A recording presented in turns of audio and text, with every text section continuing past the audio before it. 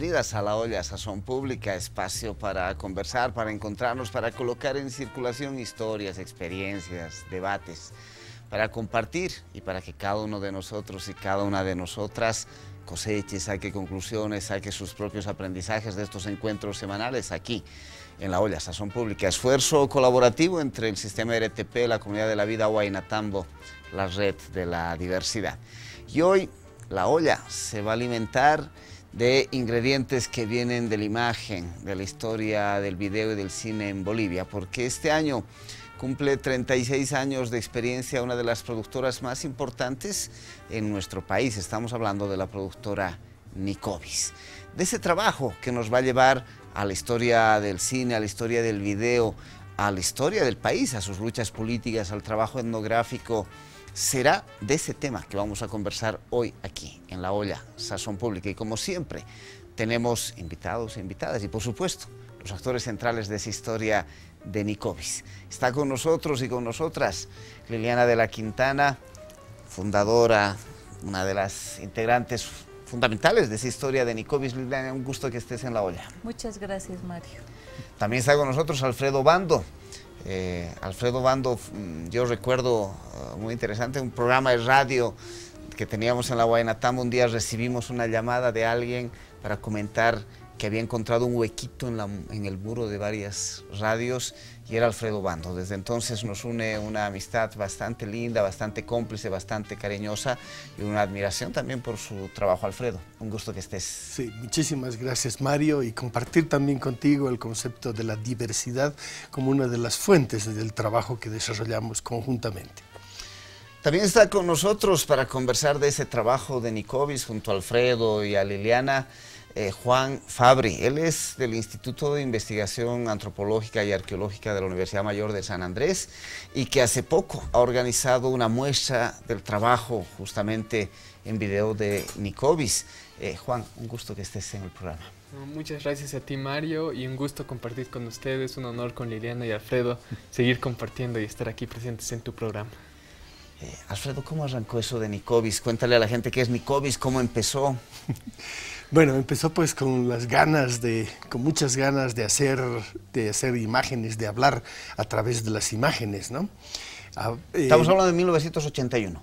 Eh, sí, Nicobis en realidad nace el 81, pero un poquito antes viene nuestra, nuestra formación, ¿no? Nuestra formación viene desde el 79, cuando se abre un taller de cine, saliendo de, la, de las dictaduras, eh, la UMSA abre un taller de, de, cine, cosa que era un poquito impensado, pero se abre esa posibilidad y es otra vez un hueco en el muro al que ingresamos.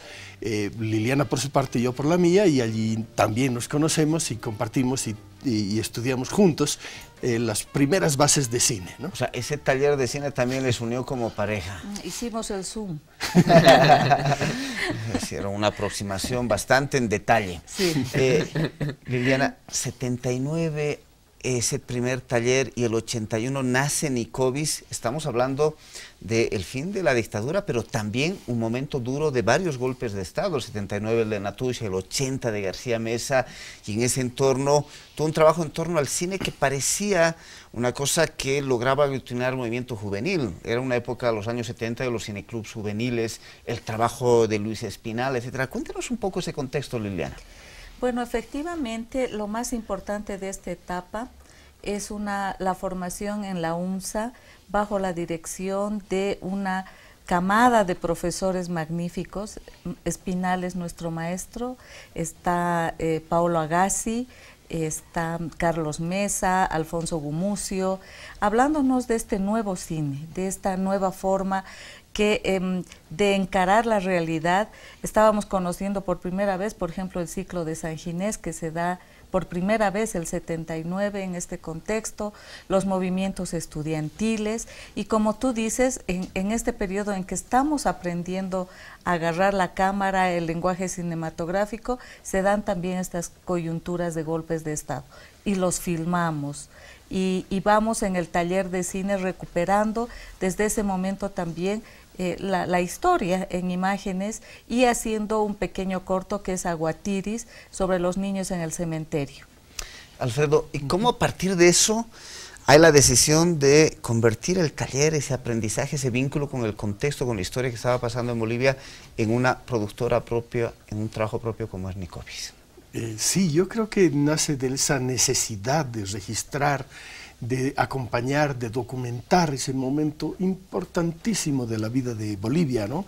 El recuperar la democracia, el salir, el luchar precisamente para eh, derrocar a las dictaduras, para salir para salir a flote y una apertura muy grande que en general en la cultura en las que nos vemos pues eh, realmente eh, muy metidos, ¿no? Y dentro de eso, pues decidimos que ese trabajo tiene que solidificarse, que tiene que continuar, que esa tiene que ser un poquito la ruta de nuestra vida, pues prácticamente, ¿no?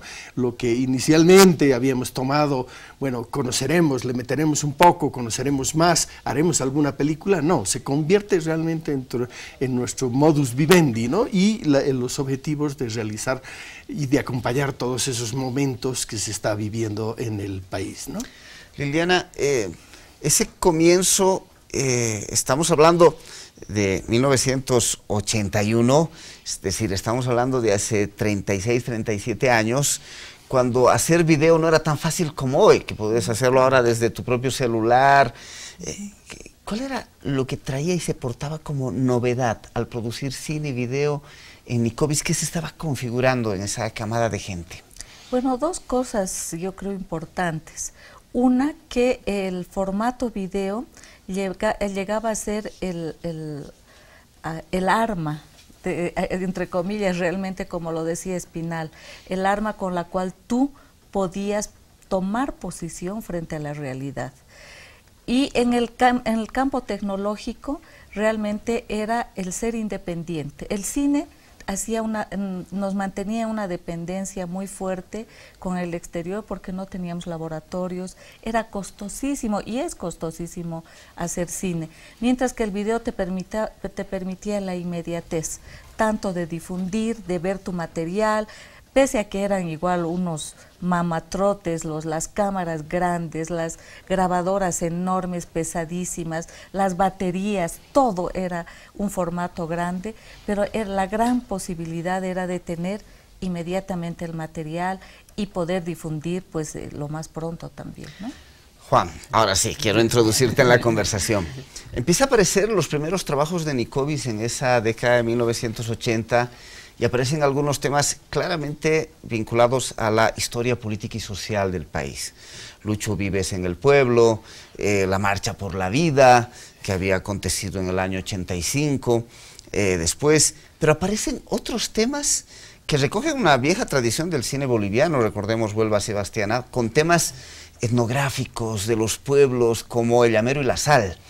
Eh, cuando tú miras retrospectivamente esta nueva generación, mire esos trabajos de los años 80 de Nicovis, ¿qué crees que se encuentra? ¿Por qué deciden hacer una muestra con ese trabajo? ¿Qué tiene de importancia? Mario, es fascinante. Este proyecto nosotros lo hemos empezado en el 2014 a pensar y a trabajar desde el Instituto de Antropología de la UMSA. Hace un proceso de investigación y de conocer em, cómo las imágenes son una memoria para el país. Y ahí nos hemos aliado con el trabajo de, de Nicobis, lo hemos conocido a profundidad, hemos tenido la apertura de Liliana, de Alfredo, de también sus hijas, ¿no? Geraldine, Mauricio, que nos han podido abrir sus archivos y poder conocer esos videos que muchos de nosotros de mi generación no los habíamos visto o no los habíamos visto quizá eh, en un momento específico, sino quizá en, los habíamos visto por la tele, quizá en un noticiero se difundían esas imágenes, pero no ver las obras, las obras completas.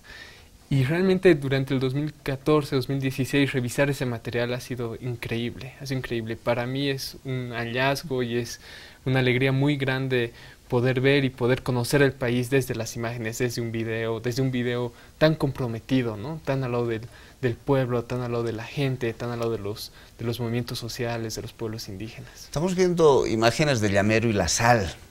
¿De qué año es el Llamero y la Sal, se acuerdan? Del 85. 85.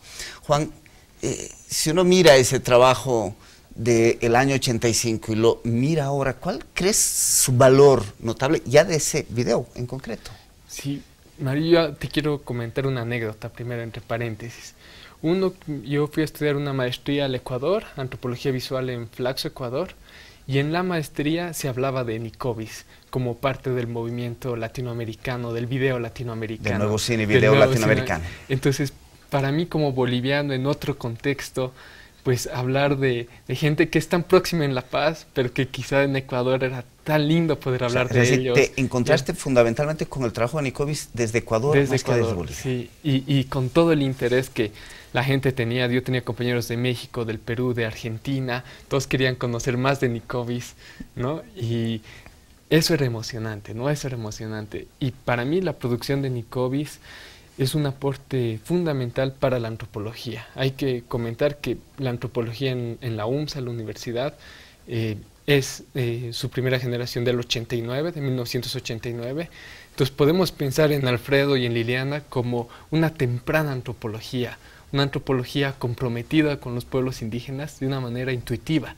Y yo apuesto a que el trabajo de Nicovis es antropología visual y por eso el instituto está tan comprometido y se ha hecho este reconocimiento y este homenaje a ellos por creer que están haciendo una, han hecho una antropología visual comprometida incluso antes de que tengamos la posibilidad de, estudiar eso. Mm, como anécdota también, Mario, por ejemplo, eh, yo estuve el año 2000 al 2002 en México, me fui a trabajar también con los pueblos indígenas de América desde allá, desde México, y allí tuve la oportunidad también de estudiar antropología visual, ¿no? Y eh, después de haber realizado ya todos los videos y todo ello, ¿no? Y finalmente encontré también un poquito que una de las formas de encarar los trabajos de antropología visual es como nosotros los, habíamos encarado, ¿no? realmente intuitivamente, como dice Juan, ¿no? Entonces eso ha sido realmente también muy, muy, muy grato, además de nutrirnos de toda otra experiencia y otras sabidurías de lo que se está produciendo en América Latina, sobre todo en ese campo, ¿no? Muchos de los conceptos solo se pueden entender a partir de las experiencias que han ido construyendo los conceptos y las tendencias.